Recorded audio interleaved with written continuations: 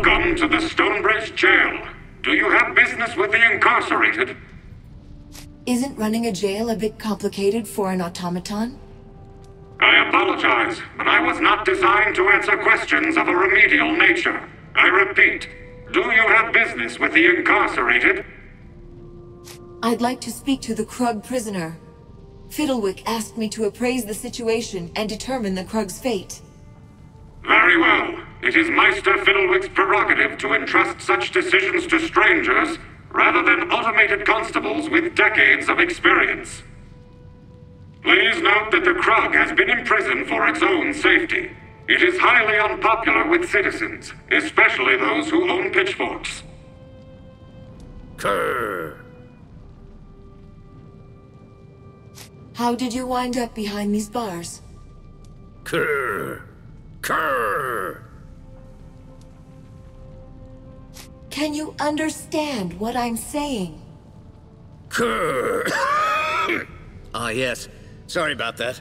I've been having a terrible bout of phlegm lately. Yes, I can understand you perfectly. Why wouldn't I? Just promise me you won't do that thing where you talk slower and louder. That never works. You're pretty well spoken for a Krug. A Krug?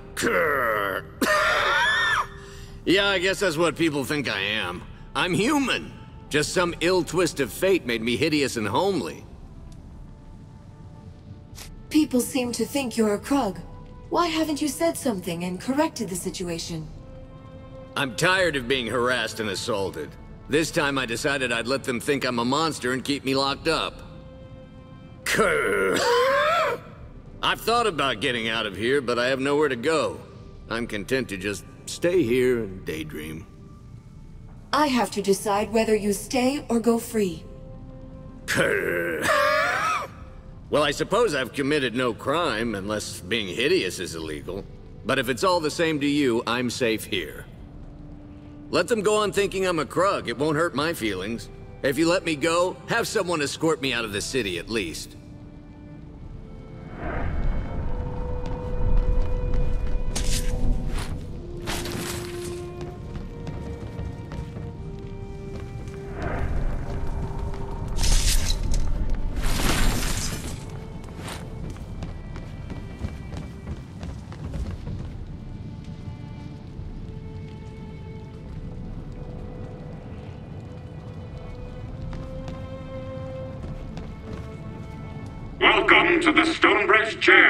Do you have business with the incarcerated? I've come to a decision on the Krug. I will enact whatever outcome you deem appropriate. Please enunciate carefully.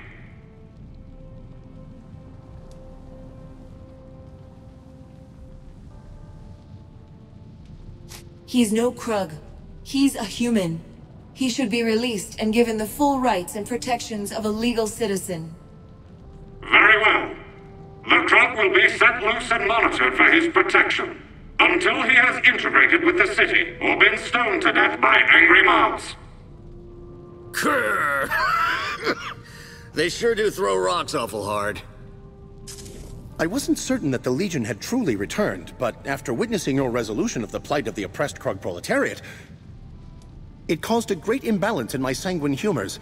Fairly had me bursting with them. now then, we have much to accomplish. Shall we get started? What in the world are you talking about? Oh my, do forgive me. I mistook you for a Collegium woman. I meant only that it made me proud, whilst at the same time risking distempers of the blood. Now then, much to do, much to do. Shall we be off? What do you mean by we have much to do? Who exactly are you? Yes, we. First person plural, in this case collective. I could lend you this excellent book on grammar, but wait, I'm forgetting my manners. I am Reinhardt Manx, scholar, inventor, and sartorial adventurer. I have degrees in advanced thaumaturgical studies and non-Goblinian geometry. Naturally, I also have a grounding in the classics, but more importantly to you, I am descended from the Grand Mage Merrick, a legionnaire through and through. That would make him Merrick's last descendant then. In the old stories, Merrick was always more interested in making magic than, well, children. Well, needless to say, it's been my dream to reunite with other children of the 10th Legion. Uh, second only to the dream of a thaumaturgical waistcoat that can change its color and cut to match the latest season's fashions. If you have Legion blood, why didn't you join us at the gathering? Oh, you mean the invitation calculated to lure all the Legion descendants into one place? You must be joking. That was obviously a trap. One would have to be suicidal, or at least a great buffoon, to walk into that sort of setup. Oh. Oh my, do forgive me. I, I should have realized. I meant no offense. But in any case, no, I regretfully declined when that letter arrived. You said you were a scholar, but have you seen any combat? I'm hardly the mage that my great-grandfather was, but I was best in my class when it came to channeling and energy manipulation. I may possess a physique best described as suety, but by application of higher non-Goblinian mathematics, I could rip a man in half with a thought. Well, uh, theoretically I could. It's not as though I practice on people. That would be rather rude, and mildly illegal, but mostly rude. How have you lived in Stonebridge all this time? I thought this town had a bad history with the Legion. Had I trumpeted my lineage, we would have seen democracy in action. The ballot would have been whether I would be lynched or dissected, but still... I used to dream that the Legion would rise up from the ashes. But I also dream of square circles, so make of that what you will. The people of Stonebridge may have committed a terrible crime against the Legion, but I think it's time to forgive and rebuild. Forgiveness is an old virtue of the Legion. I'd say your heart is in the right place. In all my studies of time, I found that you can coil it, twist it, bend it, eh, but it always unwinds the same way.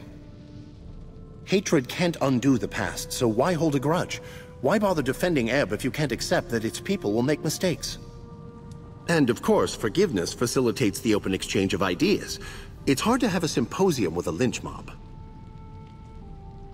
We need everyone in the Legion to join forces. Are you with us?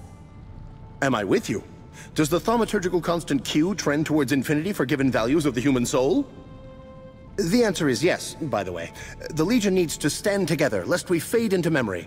So without further ado, let's be off.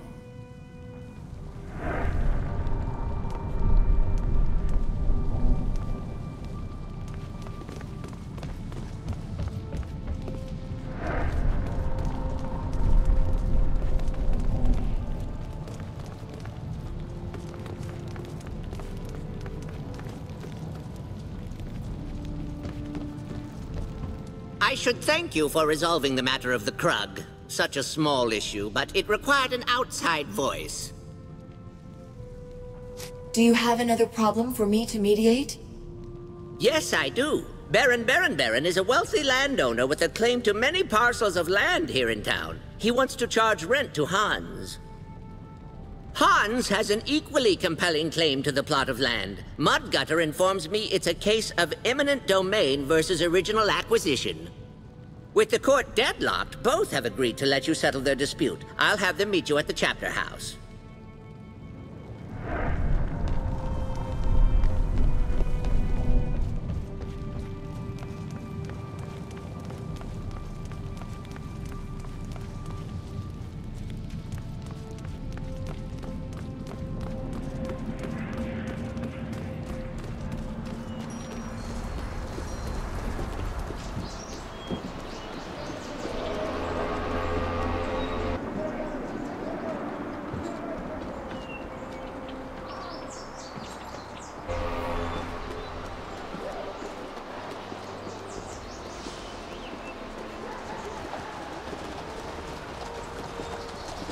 Step right up, friend. I've got all manner of weapons and gear.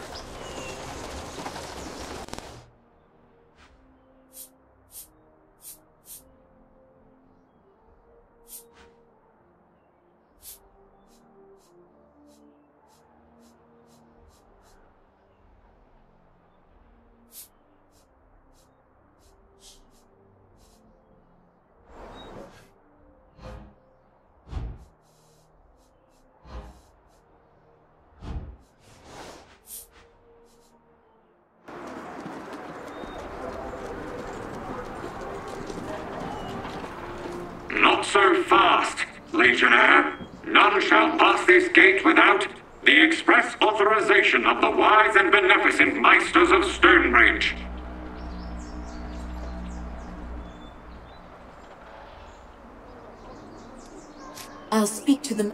Be advised, the wise and benevolent.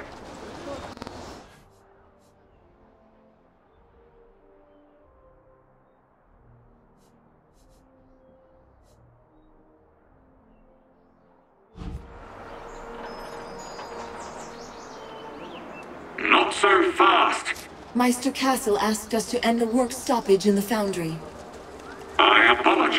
I do not comprehend the terms work stoppage, general strike, or free will. I will let you pass now. In the future, we will avoid this topic of conversation. Enjoy your time in the foundry.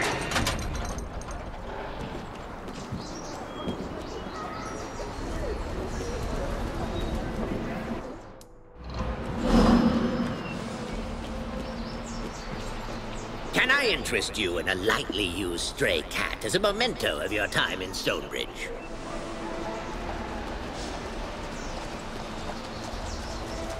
Please comply with all local laws and customs.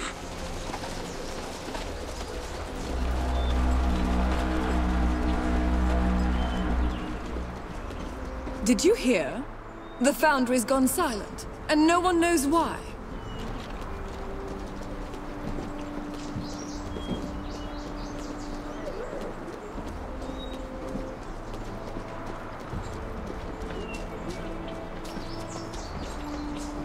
Hello there, friends. Looking for anything in particular? How is business on this side of town? It's a living, but not by much. Can't turn my back for a minute or folks seem to wander off with my goods. But don't let my ranting and rambling ruin your day. Give a holler if you want something.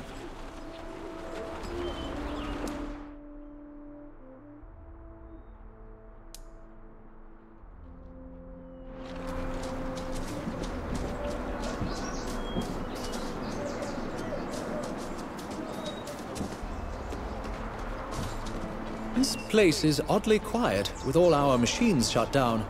I wonder what's going on in the foundry. I think I need another drink.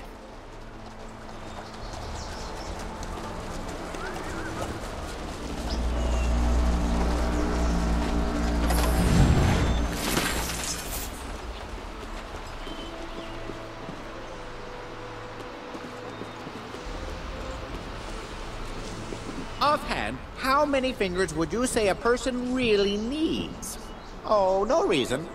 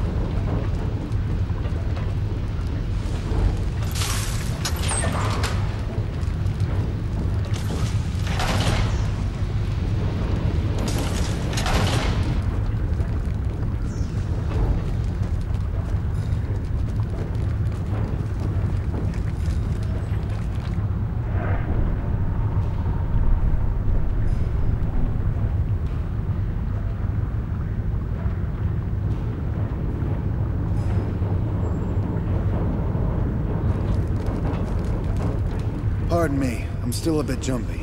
What with the Cyclops revolt?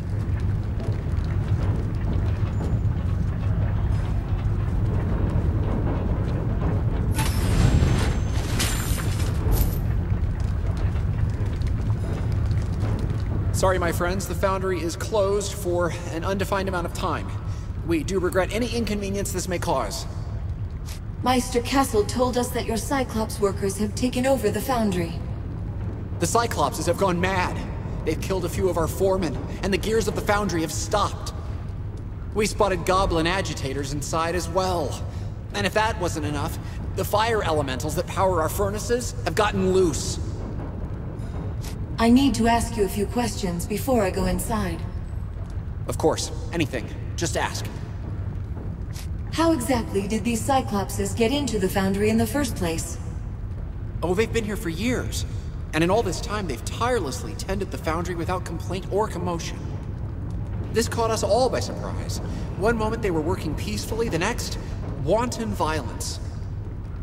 These goblin agitators you mentioned, do you know who hired them, or what their plan is? They wore no official heraldry and made no statements of allegiance. We give tours of the Foundry. I'm sure that's how they got in.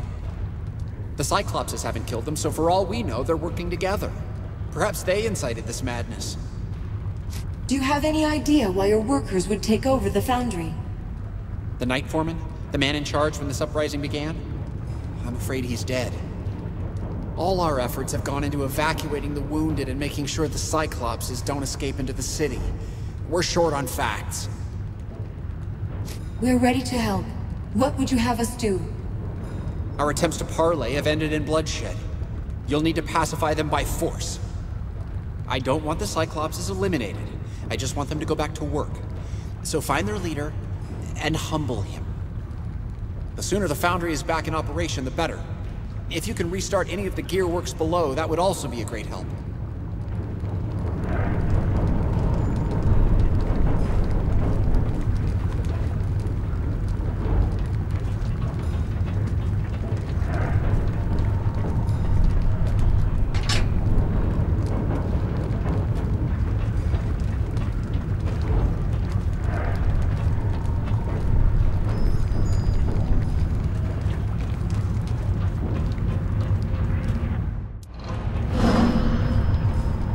Cautious there, Legionnaire.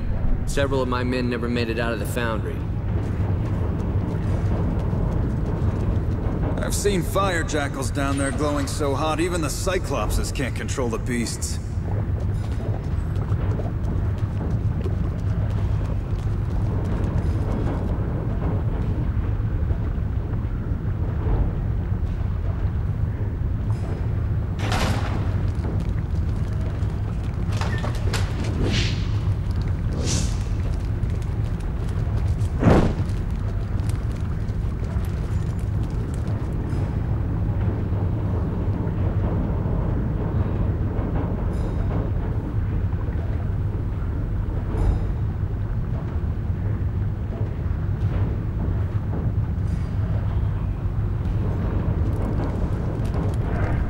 Probably stating the obvious, but let's avoid burning grates.